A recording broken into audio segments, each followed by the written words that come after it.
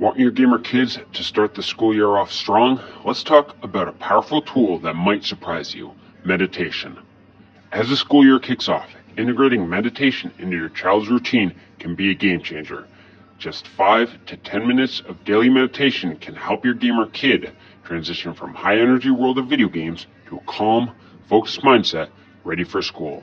It reduces stress, improves concentration, and even enhances creativity. On Rest Mode Sundays, take a few minutes to meditate with your kids. Sit comfortably, breathe deeply, and focus on the present moment. Guide them to visualize positive outcomes for the week ahead. This simple practice helps reset their minds, making Monday mornings less stressful and more productive. But what if I told you that the benefits of meditation could go even further than just reducing stress? Tune in next time to find out how.